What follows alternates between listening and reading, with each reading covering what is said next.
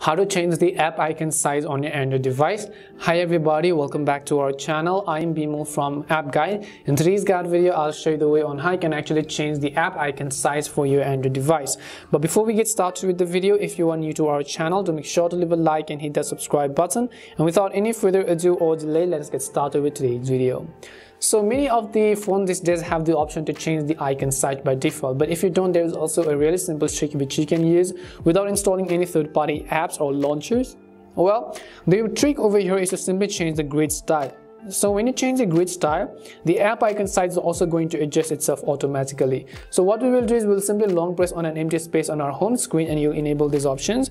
Just go to the one that says settings which is at the bottom right corner and once you do that you can see home screen grid and app screen grid over here. So if you want to change the icon size for your home screen grid select it or if you want to change the app icon size for your app screen grid then select it over here. So you can currently see that I'm actually set to 4 is to 6 which means 4 by 6 I have basically 4 at the rows and 6 at the columns over here.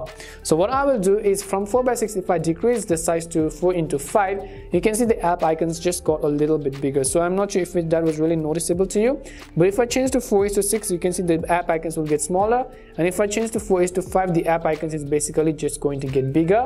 Once you've made the changes just tap on the save button at the bottom right and now you can see that our app icon is relatively much much bigger. So if I want to change it again I'll long press on it. I'll select settings and I'll go to app screen grid and I'll select 4 is to 6 and I'll just tap on the save button. And now you can see that our app icons has gotten smaller again. If I want to clean up this I'll just select it and I will select the options called clean up pages and it will basically reapply all of these changes automatically.